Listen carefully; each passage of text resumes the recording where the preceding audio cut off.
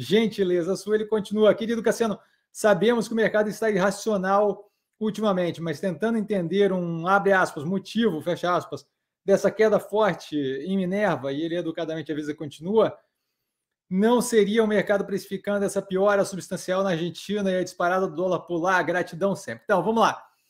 É, primeiramente, antes de responder é, a, a, pergunta especificamente com relação à Minerva, a gente, eu entendo que para grande parte das pessoas é complicado lidar com a incapacidade de dar um motivo para coisas que acontecem, certo? Isso daí é da humanidade, a gente é assim desde que tudo começou. Então, acontecia um um eclipse, ai meu Deus do céu, a entidade divina está brava, ou as entidades divinas estão bravas, e blá blá blá, não sei o quê.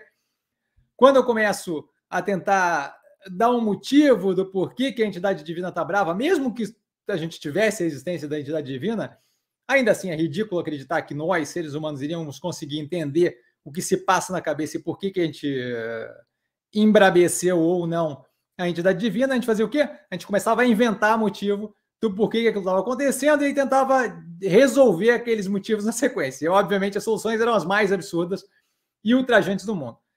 Como arrancar a cabeça do coleguinha, como botar a coleguinha na fogueira e por aí vai. Então, assim, inicialmente eu cuidaria fortemente com a tentativa de encaixar uma narrativa na base de correlação, mesmo quando não faz sentido, só para garantir que a gente possa relaxar e dormir na cama dizendo ah, tem um motivo para aquilo ter acontecido.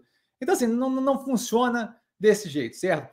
Quando a gente olha, por exemplo, para a ideia ali, que, que eu imagino, depois de vários motivos que devem ter passado na sua cabeça, esse deve ter sido um dos últimos ali. O que, que significa para a gente, no caso especificamente da Minerva, a situação piorar na Argentina? Significa que eu tenho menor mercado consumidor para gado, ou seja, uma menor demanda local, o que significa menores preços da arroba, o que significa um custo menor para a Minerva. Até aí positivo. Se a Minerva atendesse o mercado local, ok, eu entendo que teria uma dificuldade, mas a Minerva não atende o mercado local. A Minerva atende basicamente exportação. Quando eu tenho uma, uma, uma operação que é basicamente exportação, a demanda lá fora continua forte. O mercado nacional, no caso da Argentina, está fraco. E eu pago no mercado argentino para vender lá fora em dólar, que é justamente o que está se fortalecendo, essa dinâmica como um todo fica positiva para mim, não fica negativa para mim, certo? Então, assim, mesmo se tratando de um pedaço menor da operação, que é, que é a parte da Argentina, mesmo se tratando de uma dinâmica que, que, que vale a pena dar uma parada para avaliar um pouco mais, não faz qualquer sentido. Você entende? A, a, situação da Argentina cria uma dinâmica positiva para nós quando eu trato, é, quando eu sou uma operação que compra gado lá e liquida para vender para fora do país, certo? Porque o dólar está fortalecendo, então eu fico mais competitivo. O mercado doméstico, assim como no Brasil, o mercado doméstico mais fragilizado, só me garante mais espaço para poder é, pagar mais barato ou pressionar o pecuarista. Então, assim, não faz nenhum sentido que esse seja o problema. Mais importante do que isso, mesmo que fosse uma questão negativa para a gente dentro da Argentina, que fosse algo que, por algum acaso, causasse ali desconforto e fosse gerar uma situação comercialmente menos positiva, o mercado, o negócio da Minerva como um todo é atravessamento de gado. Basicamente, eu compro o gado montado, eu desmonto o gado e vendo as peças. É só isso que eu faço. Imagina como se fosse um carro, é isso que eu faço. Certo? Então, assim, não me interessa o quanto eu estou pagando descasado do quanto eu estou recebendo para vender. Assim como não me interessa o quanto eu estou vendendo, descasado do quanto eu estou é, pagando para comprar. Por quê? A gente já teve momentos aqui no Brasil onde lá fora a gente estava ganhando valores recordes pela carne de gado que a operação estava mais pressionada. Por quê? Porque apesar dos valores recordes lá fora, aqui dentro a gente estava pagando arroba de 340, 350 reais, certo? O que pressionava o atravessamento. Então, não dá para fazer a avaliação descasada do custo que eu ganho, do custo que eu pago versus o quanto eu ganho. Porque é um negócio de atravessamento. O que, eu, o que me interessa é a diferença entre as coisas, é a margem que eu ganho. Então, primeiramente, cuidaria violentamente com a tentativa de, de, de enjambrar é, narrativa, que muitas vezes vem com vários buracos ali na ideia do, do quanto faz sentido, cuidaria com a ideia de enjambrar narrativa só para eu poder dizer: ah, não, agora pelo menos eu sei um motivo.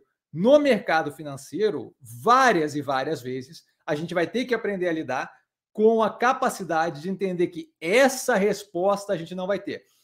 É, a subida ou queda de um preço no ativo é fruto da tomada de decisão de uma cacetada de gente, por vários motivos diferentes. A menos que a gente tenha um caso muito específico de algo muito especial vinculado àquilo, como, por exemplo, a Americanas, ela arranjou um rombo de 20 bilhões de reais.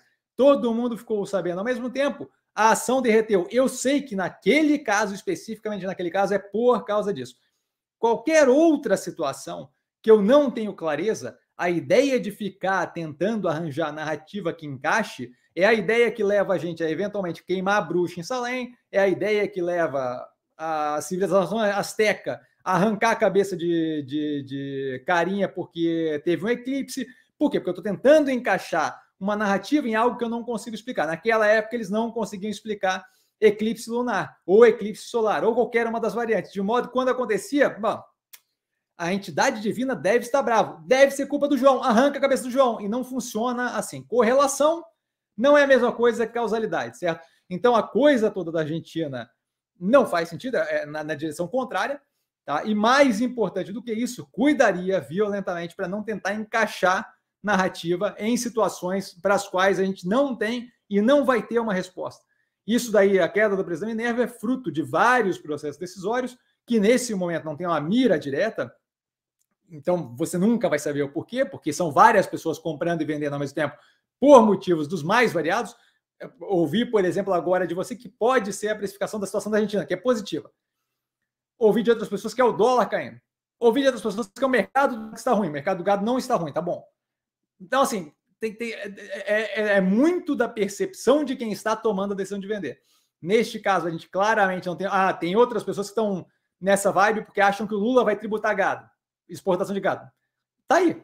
Você não tem uma clareza do que é. Nem sempre as coisas ficam claras com um motivo apenas, numa direção. Então, não vejo qualquer vínculo com a coisa da Argentina, e mais importante do que isso, não vejo qualquer capacidade de saber especificamente um motivo para a queda da, da, da Minerva. Por isso que eu digo, completamente irracional, certo? É, então, basicamente isso. E cuidaria, volto a reforçar, cuidaria com a questão da diferença entre correlação e causalidade, tá?